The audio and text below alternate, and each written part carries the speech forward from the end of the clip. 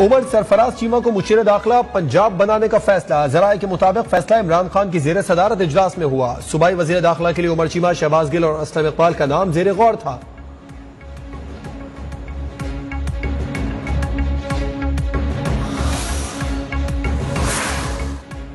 Phone call leak करना बड़ा जुर्म है। कानूनी फंड रेजिंग एक पार्टी की है और वो तहरीक इंसाफ है। चेयरमैन तहरीक इंसाफ इमरान खान ने बाकी सारी जमातों की फंडिंग गैर कानूनी करार दे दी।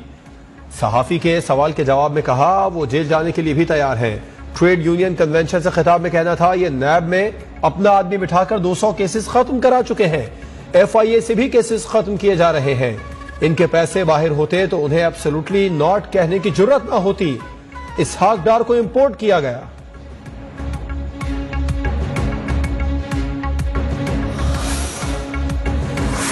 इस्लामाबाद हाई कोर्ट में फॉरन फंडिंग केस की समाज चेयरमैन तहरीक इंसाफ इमरान खान की हिफाजती जमानत मंगल तक मंजूर। गिरफ़्तार न करने का हुक्म। अदालत ने इंतजामिया को इमरान खान को हिरासा करने से भी रोक दिया। चीफ जस्टिस अथर मिनुल्ला ने रिमार्क दिए कि अगर दायरा अख्तियार का मामला हल नहीं होता तो उसको भी देख लेते हैं।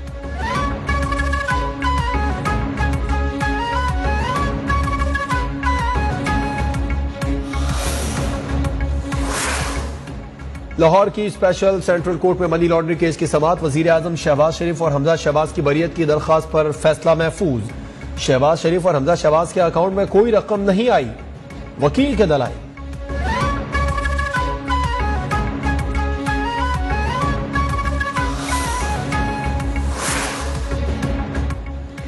सुप्रीम कोर्ट में नैब तरामीम के खिलाफ इमरान खान की दरखास्त पर समाप्त चीफ जस्टिस ने रिमार्क दिए कि हर काम पार्लिमान करने लगी तो फैसला साजी का अमल सुस्त रवि का शिकार हो जाएगा।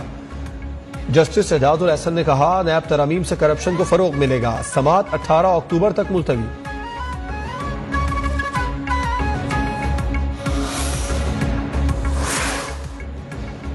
वज़ीर रेलवे ख्वाजा साद रफीक कहते हैं, इमरान खान की गिरफ्तारी में कोई दिलचस्पी नहीं। वो जो करेंगे, उसका कानून खुद हिसाब लेगा। इमरान खान फितना है डट कर मुकाबला किया जाए। अता तारण का कहना था कि इमरान खान दूसरों पर इल्ज़ाम लगाते थे। तहरीक अदम एतम पर अपने अरकान को फ़ोन टेप कराए। वो बताएँ, पाँच एम कैसे खरीदे?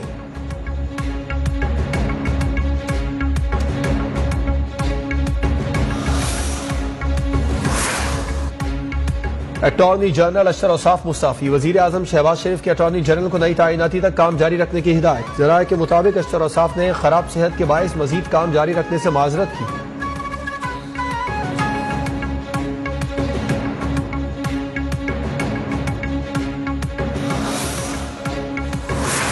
वज़ीर आज़म शहबाज शरीफ का बलोचिस्तान के तलबा की पचास फ़ीसद तालीमी अखराज अदा करने का ऐलान। ट्वीट में कहा, पंजाब में जेर तालीम बलोचिस्तान के तलबा के मसाइल पर आगही ली है। बलूचिस्तान के तलबा बगैर किसी परेशानी के तालीम जारी रख सकेंगे।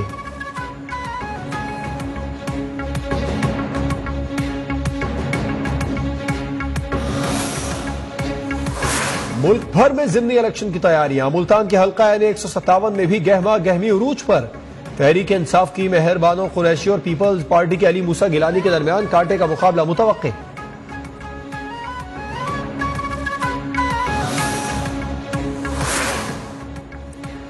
कराची के दो हल्कों में जिमनी इलेक्शन का मैदान 16 अक्टूबर को सजेगा। एनए दो सौ सैंतीस में इमरान खान का मुकाबला, पीपी उम्मीदवार हकीम बलोच से मुतव टीएलपी उम्मीदवार भी मध्य मुकाबिल, एनए दो सौ उनतालीस कोरंगी में भी जिमनी इलेक्शन की तैयारी।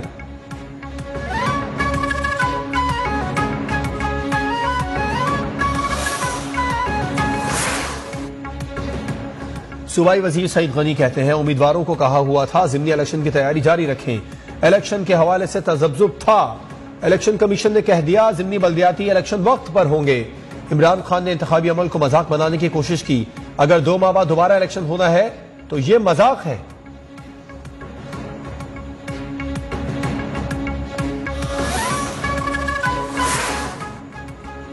कराची में चार फायर ब्रिगेड मुलाजमीन के कत्ल में मुलविस मुलजिम के अहम इंकशाफात। गिरफ़्तार मुलजिम शेख बिलाल ज़फ़र फारूकी सीटीडी का सबक अहलकार निकला। पुलिस के मुताबिक मुलजिम बिलाल सबक स्टेशन ऑफिसर बशीर फारूकी का बेटा है। वालिद के कत्ल का बदला लेने के लिए वारदात की मुलजिम ने कराची यूनिवर्सिटी से मास्टर्स किया।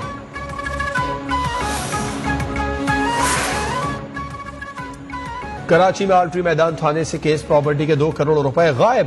पुलिस हुक्का में हलचल। अफसरान थाने पहुँच गए। रकम कैसे गायब हुई? तहकीकत जारी। आरा चनार में ज़मीन के तनाजे पर दो ग्रुपों में गोलियाँ चल गई। फायरिंग से तीन अफराद जाम बहक और आठ जख्मी हो गए। पुलिस का कहना है कि मोशेरा और डंडर कबाइल के दरमियान अराजी का तनाजा चल रहा है।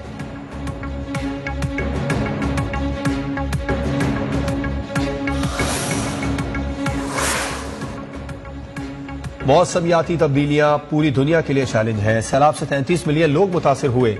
आलमी बैंक ने सैलाब से नुकसान का तखमीना चालीस लाख डॉलर लगाया है। मुतासर इलाकों में अब भी पानी खड़ा है। विफाकी वज़ीर मौसमियाती तब्दीली शरी रहमान की न्यूज़ कॉन्फ्रेंस।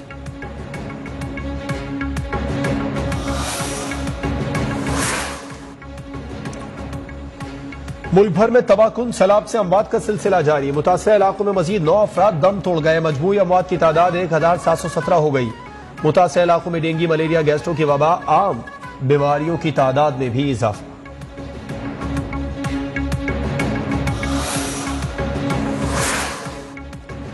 नोबेल इनाम याफ्ता मलारा यूसुफ जई का सिंध के इलाके दादू में सैलाब मुतासर इलाकों का दौरा जूही के इलाके छानदान में सैलाब मुतासरीन में घुल मिल गई कैंपों में मौजूद बच्चों की तालीम मुतासर होने पर तशवीश का इजहार किया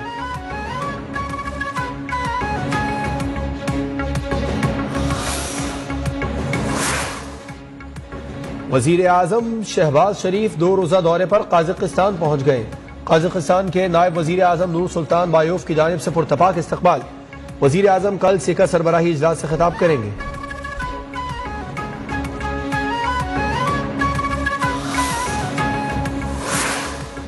तेल पैदा करने वाले ममालिक की तंजीम ओपैक प्लस की जानब से तेल की पैदावार में कमी के ऐलान पर अमरीका, सऊदी अरब पर बरहम। सदर जो बाइडन की सऊदी अरब को तेल पैदावार में कमी का खमियाजा भुगतने और जल्द इलेक्शन की धमकी। कहा वो ये नहीं बताएँगे कि वो क्या सोच रहे हैं।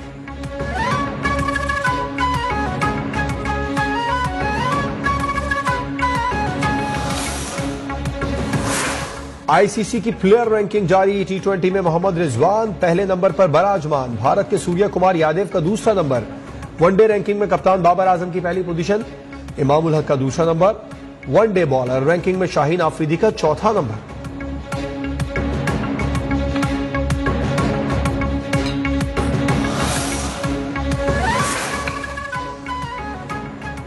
Ireland women's cricket team के दौरे, पाकिस्तान का शेड्यूल जारी, मेहमान स्कॉट उनतीस अक्टूबर को लाहौर पहुंचेगा। आयरलैंड टीम तीन वनडे और तीन टी ट्वेंटी मैचेस खेलेगी। पहला एक रोजा मैच, चार नवंबर को खेला जाएगा।